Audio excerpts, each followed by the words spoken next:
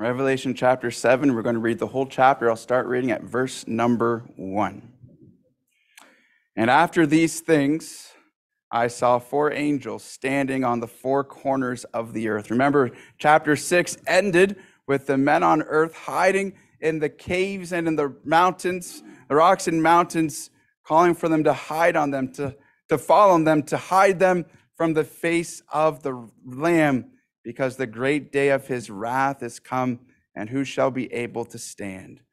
But now, chapter 7 gives us a, a reprieve, if you will, as we start chapter 7, verse 1. And after these things, I saw four angels standing on the four corners of the earth, holding the four winds of the earth, that the wind should not blow on the earth, nor on the sea, nor on any tree. And I saw another angel ascending from the east, having the seal of the living God.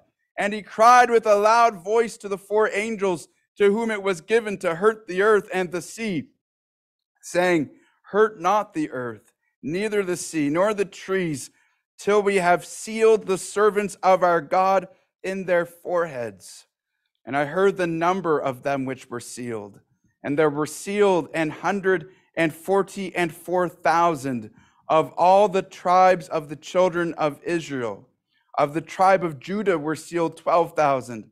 Of the tribe of Reuben were sealed 12,000. Of the tribe of Gad were sealed 12,000. Of the tribe of Asher were sealed 12,000. Of the tribe of Naphtali were sealed 12,000. Of the tribe of Manasseh were sealed 12,000. Of the tribe of Simeon were sealed 12,000. Of the tribe of Levi were sealed 12,000. Of the tribe of Issachar were sealed 12,000. Of the tribe of Zebulun were sealed 12,000. Of the tribe of Joseph were sealed 12,000. Of the tribe of Benjamin were sealed 12,000.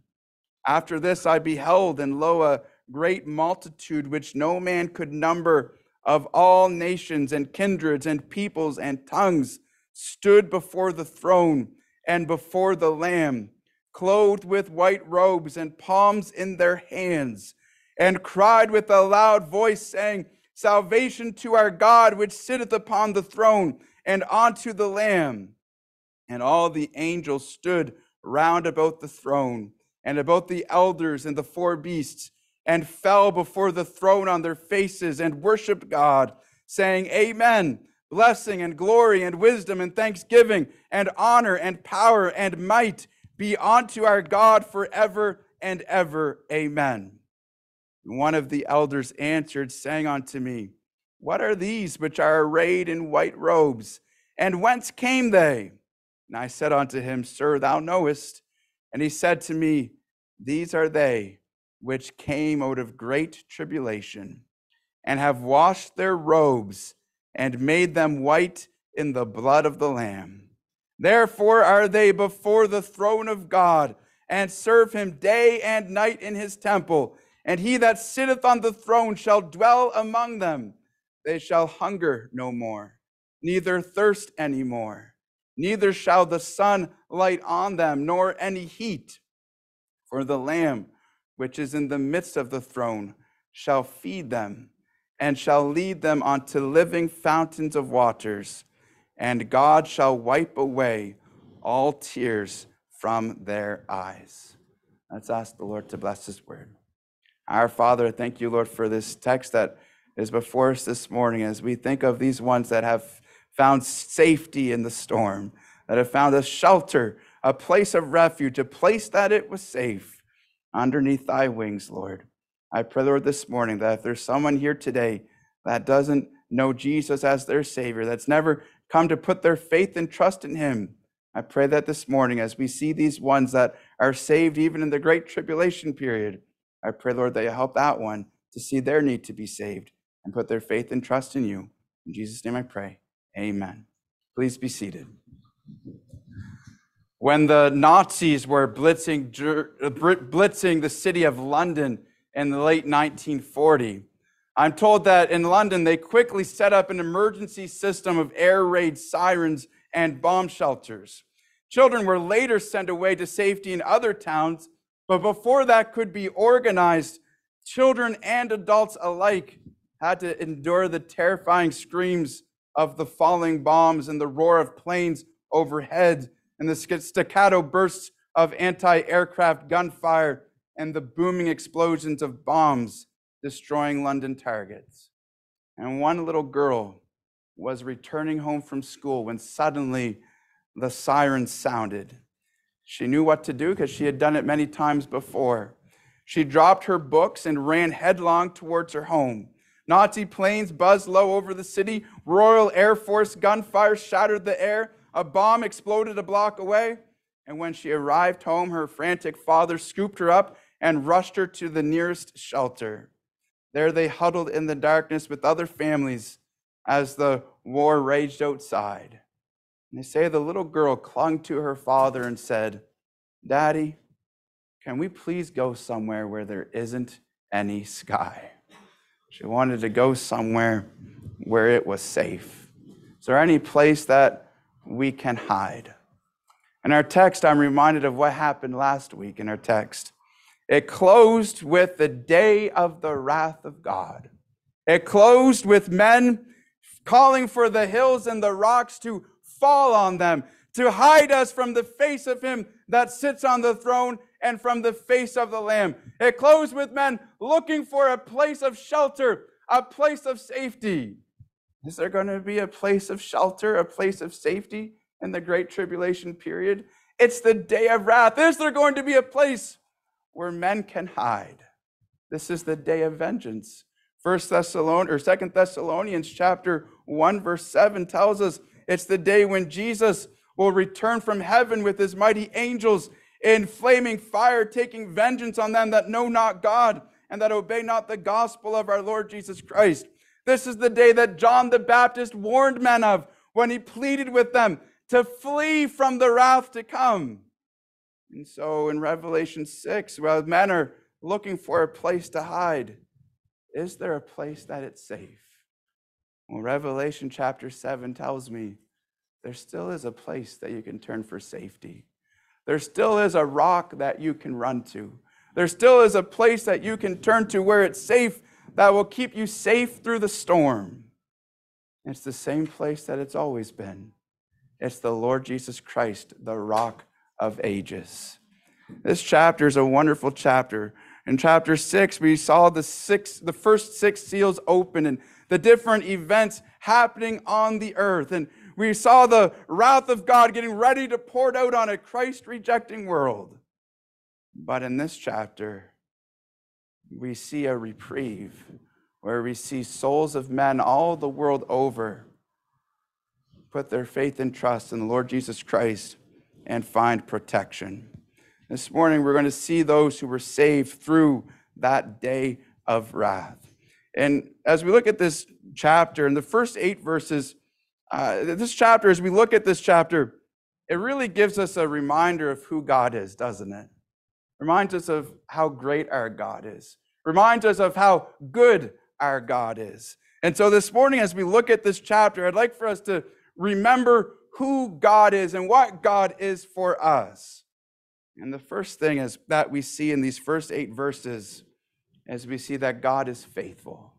We see the faithfulness of God. As this text begins, you notice that the Lord seals the 144,000 of the nation of Israel.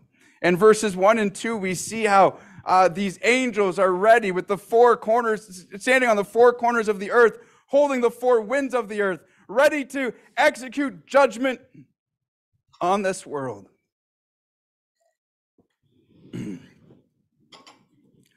But before they can do it, they're told to stop. Just hold on a second. Don't do it yet. Don't do it until we've sealed the servants of our God. And in verse 2, uh, in verse 3, we read of how they seal those servants in their foreheads. They literally they put the name of God in their foreheads, it says in Revelation 14. And he says, I heard the number of them which were sealed, and there's 144,000 of all the tribes of Israel. These are the same ones mentioned in Revelation chapter 14. Turn there, if you will. Revelation chapter 14, starting at verse number 1. And I looked, and lo, a lamb stood on the Mount Sion, and with him an hundred and forty-four thousand, having his father's name written in their foreheads, the seal there in their foreheads. And I heard a voice from heaven as the voice of many waters, and as the voice of a great thunder, and heard the voice of harpers harping with their harps. And they sung, as it were, a new song before the throne, and before the four beasts and the elders. And no man could learn that song but the hundred and forty and four thousand which were redeemed from the earth. These are they which were not defiled with women, for they are virgins. These are they which follow the Lamb, whithersoever he goeth. These were redeemed from among men, being the firstfruits unto God and to the Lamb. And in their mouth was found no guile, for they are without fault before the throne of God. Who are these 144,000? Well, it seems like every cult wants to claim that it's them. every cult wants to say that it's us. No, it's of the nation of Israel. It's 144,000 made up of the 12 tribes of the nation of Israel. And these ones are called in Revelation 14 the, the first fruits, uh, the first fruits of the Lamb, as He's redeemed them from the earth. Remember, in Revelation 5, He took the book of redemption out of the hand of the Father. And now he has the rights now to kick the squatters off, the, off his inheritance.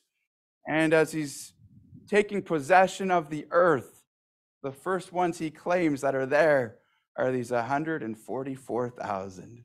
He says, These are mine. I'll take them. These are my first fruits. They belong to me. And he takes them of the nation of Israel. You say, why does he take them from the nation of Israel? Well, because he's made a promise. That's why. Because he made a promise to their father Abraham many years ago. Because he made a promise to their father Isaac and their father Jacob, telling them that they would possess this land, telling them of their great inheritance, because he made a promise to them. And when God makes a promise, he is always faithful to keep it. When God gives his word, he performs it. He doesn't just throw around promises lightly.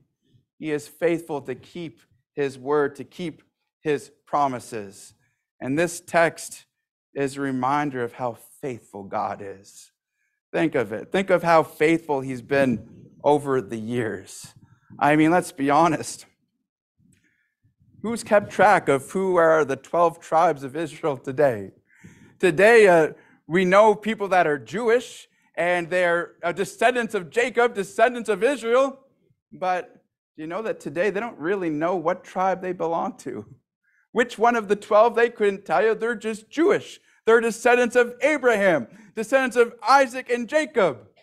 But you know, in the Bible times, in Luke chapter 2, when our Savior's born, Anna knows that she's of the tribe of Asher. Paul knew that he was of the tribe of Benjamin. Different ones knew what tribes they were from. But today, nobody knows what tribe they're from. But God does. He's been keeping track of them all these years.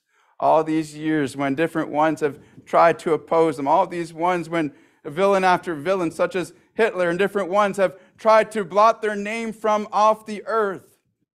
God has been faithful. God has preserved them.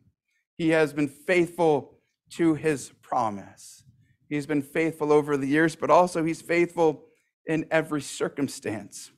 This text reminds me that no matter the situation, God is faithful and he can keep his word. You realize there's no problem too great for God. When God sets his seal on these ones, he's promising to keep them through this tribulation. Their, their inheritance is they're, they're going to inherit the land with him. And uh, they're going to make, God's going to protect them from the wrath. My thought is, how? I mean, these are dangerous times.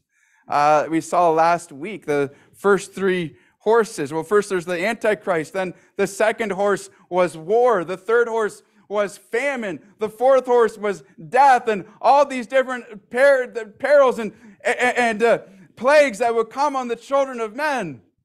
And yet, God's saying, These ones hurt not the earth till I've sealed them. They're protected. I'm going to keep them safe. How? How is it? This is a time, yes, God's going to keep them from wrath, but also this is a time when Antichrist is going to be throwing so much hate at them. And yet God's going to keep them safe. How? Because He's able. He's able to keep His promises. He's faithful to keep His promises. Even when it looks bleak, even when the devil's swirling about, you can trust Him in every circumstance. He's faithful. He keeps His word. He's faithful over the years. He's faithful in every circumstance. Also, he's faithful to all. Many seem to find fault with this text, and the reason is is because there's one thing in this text that is very hard to explain, and that's the names that are missing when you read the 12 tribes of Israel. There's all the tribes, there's 12 tribes, except you'll notice that Manasseh, Joseph is divided into two, but it's not divided into Ephraim and Manasseh, it's divided into Joseph and Manasseh. And then dividing Joseph into two makes it so that one of the other tribes is altogether not mentioned at all. And that's the tribe of Dan. You say, Where's Dan? Where's Ephraim? I thought you said he was faithful. Obviously, he forgot them. Well, listen, it's really hard to explain why it might be that they were left out of this. Many, I think the most the, the most biblical answer would be that in the Old Testament times, uh, it was Dan and Ephraim where those golden altars were, where they led the nation to idolatry. Dan, especially in the book of Judges, was the first one to go into idolatry, and God spoke of repercussions for that. And maybe that's what this is. They have to face the tribulation without any of their tribes sealed. But I can tell you this when God divides the inheritance to the children of Israel as he starts his kingdom, they're there. Dan and Ephraim are there. When Ephraim, er, when Ezekiel foresaw the, the nation of Israel and the millennial kingdom, there's a lot for Dan and there's a lot for Ephraim. They're both mentioned in Ezekiel. And so God is faithful to all his people. He can be trusted. He keeps his promises. He seals 144,000 of the nation of Israel because he made a promise to Jacob and Isaac and Abraham. And just by the way, this isn't all of na- the nation of Israel that's going to enter the kingdom at the end of the tribulation. These are just the ones that are sealed.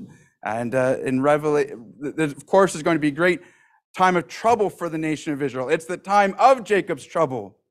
But God is going to, at the end of it, Romans 11 tells us it will be the day when all Israel will be saved because God is faithful to keep his promises. This chapter reminds us of the faithfulness of God. But then also, we see in this chapter the mercy of God. The mercy of God. In verse 9, after this, after the sealing of those 144,000, after this I beheld, and lo, a great multitude, which no man could number, of all nations and kindreds and people and tongues, stood before the throne and before the Lamb, clothed with white robes and palms in their hands, and cried with a loud voice, saying, Salvation to our God, which sitteth upon the throne, and unto the Lamb. And all the angels stood round about the throne and about the elders and the four beasts and fell before the throne on their faces and worshiped God, saying, Amen. Blessing and glory and wisdom and thanksgiving and honor and power and might be unto our God forever and ever. Amen. And one of the elders answered, saying unto me, What are these which are arrayed in white robes? And whence came they? And I said unto him, Sir, thou knowest. And he said unto me, These are they which came out of great tribulation and have washed their robes and made them white in the blood of the Lamb. Here we have these people with white robes, signifying that they're righteous. They have palms in their hands. Palms signifies victory. It signifies triumph. They're standing there in heaven. They are just as saved as you or me, as those of us who know Christ as our Savior today. And the angel has asked a good question Who are these? Where did they come from? How did they get here? And he gives the answer. They're those which have come out of great tribulation and have washed their robes and made them white in the blood of the Lamb. Who are these people? Have you thought of that? Who are these ones clothed in white? Some believe that they're the martyrs from all the ages who have given their lives for Christ, but they can't be because we've already seen the church wearing their crowns of gold, sitting on their thrones, reigning with Christ, acting as priests with their vials. They contain the prayers of the saints. We've already seen the church. Remember Revelation chapter 1?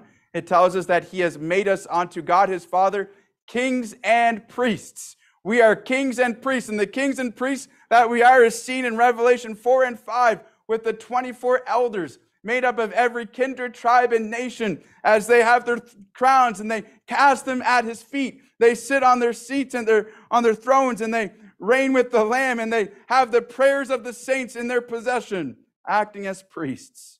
That's us. We've seen that already. We're the elders in chapters 4 and 5. So, who are these? Who are these that are also made up of every nation, every kindred, every people, every tongue? Who are these that are a great number that none can count, robed in white, and the Lord is their shepherd? Well, would you believe me if I told you that they're tribulation saints? That they're ones that put their faith and trust in the Lord Jesus Christ during the great tribulation. You say, how's that? How can that be? Uh, how is that possible? How, is that, how can that be true? Well, these are the ones that Daniel spoke of when he said, They that turn many to righteousness shall shine as the stars. In the 70th week of Daniel, many will be turned to righteousness. Perhaps the 144,000 will, we call them the witnesses, as they'll tell the world about the Lord Jesus Christ. And Revelation 15 speaks of these ones. Turn to Revelation chapter 15, verse number 2. Revelation 15, verse 2. And I saw, as it were, a sea of glass mingled with fire. And then it says, and them that had gotten the victory over the beast, and over his image, and over his mark, and over the number of his name, stand on the sea of glass, having the harps of God and they sing the song of Moses, the servant of God, and the song of the Lamb, saying, Great and marvelous are thy works, Lord God Almighty. Just and true are thy ways, thou King of saints. Who shall not fear thee, O Lord, and glorify thy name? For thou only art holy. For all nations shall come and worship before thee, for thy judgments are made manifest. Who are these saints? They're the ones that overcame. They overcame by putting their faith and trust in the Lord Jesus Christ. They're the ones that overcame by washing their robes and making them white in the blood of the Lamb. They're tribulation saints. You say, but how could that be the case? I mean, at the rapture, the church is called home, God's people are called home. So, how in the world could there be this many who get saved during that time? He says that there literally is a multitude that no man can number. How is that possible? Well, the Bible speaks of those 144,000 sealed. I believe they'll be witnessing. The Bible speaks of two specific witnesses that will work even signs and wonders. I'm sure they will help. You know, I'm sure that after the rapture, many will be searching. I'm sure that you know, many will be looking to see what happened and looking into the disappearance of all these ones. And you know, church websites that have gospel messages, they'll still be accessible. I'm sure that different gospel literature, men will be able to lay hold on it and read it and see what it has to say. Bibles will have been left behind for men and women to read, and people will open their eyes and see the reality of God and of Christ. And over that seven year period, I believe that's what this is. This is a break in the story. This is showing all of them over that seven year period who have put their trust in the Lord Jesus during that seventh 70th week of Daniel, this great number of souls will come to know Jesus as their Savior. And say, How? This is the day of wrath. This is the day of judgment. And the martyrs, when they prayed in chapter 6, they did not pray for mercy. They did not pray, Lord, lay not this sin to this charge. They cried out for vengeance. They cried out for wrath. But even in wrath, God remembers mercy. Even in wrath, God is still long suffering to us. We're not willing that any should perish, but that all should come to repentance. And I don't know if these ones have died or if they make it through the tribulation. I'm not sure if this is just a scene of all of them or what. The, what happens next is going to be in Revelation 20 and 21 when the new Jerusalem is set up. Uh, but I, I, don't know exactly what, uh, uh how, they, how, they, how they fare in the tribulation, other than to know that they're saved by God's grace. And they'll be there in eternity, led by the Lamb, fed by Him day by day, all because God is merciful. God is merciful. The gospel is an everlasting gospel. Christ died for our sins according to the scriptures. He rose again the third day, and he ever lives to make intercession for all who come to him by faith. And those saved during the time of tribulation it says in verse 14, they're saved the same way as you and me. They're saved by the blood of the Lamb. It says, These are they which came out of great tribulation. That doesn't necessarily mean the great tribulation, but certainly it's referring to the troubles they had during that seven year time and have washed their robes and made them white in the blood of the Lamb. They're saved by his blood. It's not that they were born righteous, it's not that they were born into a Christian home that made them Christians. It's that they came to the Lord Jesus Christ as poor lost sinners and put their faith and trust in him for salvation. They found forgiveness through his blood. And even during the great day of wrath, God will still be merciful. Now, this begs a question. I wonder, Second Thessalonians chapter 2 speaks of those that will be deceived and believe a lie. And could be, though. Someone says, Well, I'm listening to this sermon and I'm saying, Well, you know, I was on the fence, but now that you say that people will be saved after the rapture, I might as well wait and see what happens next. Don't be so foolish. The Bible says today is the day of salvation. Now is the accepted time. The fact is, no one is guaranteed tomorrow, and we never know what the next day holds. And we know that at the beginning of the tribulation, there will be lots of things that will cause death, such as war and famine. But God is calling you today to be saved. The fact is, although untold millions will be saved, the Bible does say in Second Thessalonians chapter 2 that for some have that have not received the love of the Lord, not received the gospel, not obeyed it, but instead wanted to keep going on in their sins, says God will give them strong delusion that they believe a lie. They'll believe the devil's lie and follow Antichrist. So don't wait till then to get saved. Get saved today. But in wrath, God remembers mercy. I think of when Noah built the ark. Remember when Noah built the ark and he got on board the ark with all the animals? It was raining so hard yesterday. I really got to stop saying this, but I show up at my grandfather's and I say, Man alive, granddad, you haven't seen this kind of rain since you were on that boat. But, anyways, but uh, I got to stop saying that to him. But think of when Noah built that ark and uh, him and his family got, on, got inside the ark. But remember, the door was too was too big for him to shut. At the very least, we know that Noah never closed the door. The Bible says the Lord shut him in. But you remember that when Noah got on the ark, it wasn't like God closed the door right away. Instead, he kept it open for seven more days. And I think of Noah getting on the ark, and I think, you know, that kind of reminds me of the rapture. We get called up into glory. We're safe in Christ. We're safe in Him. But it doesn't mean that God still won't save someone that puts their trust in the Lord Jesus Christ.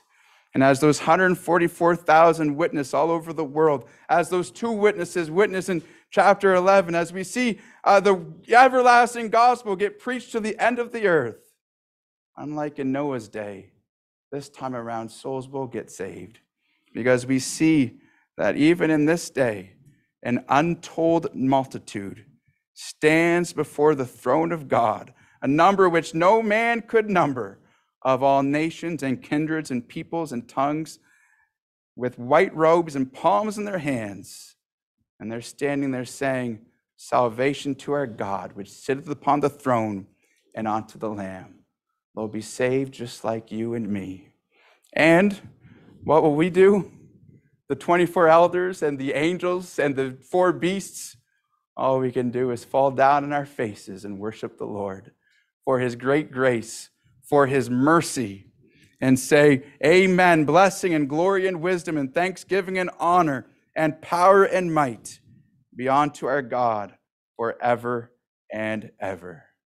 This chapter reminds us that not only is God faithful, but God is merciful. We see the mercy of God, the faithfulness of God. And then, number three, one last thing we see in this chapter the goodness of God verse 15 to 17. These ones washed in the blood of the Lamb. It says, Therefore are they before the throne of God and serve him day and night in his temple. And he that sitteth on the throne shall dwell among them. They shall hunger no more, neither thirst any more, neither shall the sunlight on them nor any heat. For the Lamb which is in the midst of the throne shall feed them and shall lead them unto living fountains of waters, and God shall wipe away all tears from their eyes. These ones will serve the Lamb before his throne in his temple, and God's going to dwell among them. And these ones, they went through hard times. They went through the tribulation. They're the ones that refused to take the mark of the beast. Without the mark of the beast, they are unable to buy or sell. They were unable to buy the basic staples of life, such as the food they needed to drink or the eat or the water they needed to drink. On that day, they'll have no more worries like that. Neither will they hunger, neither shall they thirst anymore. No more will they bear the burden and heat of the day from the sun on them. But the Lamb of God is going to take care of them He'll feed them and lead them unto the living fountains of waters, and God shall wipe away all tears from their eyes. All throughout eternity, God's going to show his grace and mercy, his goodness to these people. And you know, God's going to do the same for us. You remember in Ephesians chapter 2, you hath he quickened who were dead in trespasses and sins. God has but God, who is rich in mercy, for his great love wherewith he loved us, even when we were dead in trespasses and sins, hath quickened us together with Christ. By grace ye are saved, and hath raised us up together to sit together in heavenly places in Christ Jesus. You ask the question, why? Why would he do that? Why would God save sinners like you and me? Ephesians 2 7 that in the ages to come, in eternity, he might show the exceeding riches of his grace in his kindness towards you through Christ Jesus. Why does God save us? So that through all eternity, he can be good to us. He saves them so he can be good to them. He saved you so that he can be good to you. I wonder, do you know the Lord Jesus Christ as your Savior? John the Baptist was the messenger who said, Flee from the wrath to come. Find the place where it's safe. Get out of harm's way. Where is it that it's safe? Where is a place that you can hide? It's the same place it's always been. It's the Lord Jesus Christ. Put your faith and trust in Him, and you can find shelter from the storm. I wonder today have you put your faith and trust in Jesus Christ. Have you done what these ones did? Washed your garments and made them white in the blood of the Lamb. Let's pray. Our Father, thank you, Lord, for this text. Lord, it's such a encouraging thought to think that even during the great tribulation, there will be more souls saved in that day than, uh, than we can count, Lord. And it's so encouraging to know that even in wrath, you remember mercy and that you're always working for the salvation of souls. I pray, Lord, that we'll make that our priority, that we'll strive to see men and women come to put their faith and trust in Jesus Christ. And I pray, Lord, this morning that if there is someone that's never been saved, never put their trust in Jesus, I pray that they'll be saved today. In Jesus' name I pray. Amen. Every head bowed, every eye closed. I just want to give you the opportunity this morning to respond. Maybe there's someone that's not saved, someone that's never put their trust in Jesus and wants to be saved. Would just raise your hand? I'd love to take a Bible and show you how you can be saved today. Anyone at all. Our Father, thank you, Lord, for this time we've had in your word. I pray that now you'll bless in this closing song. In Jesus' name I pray. Amen.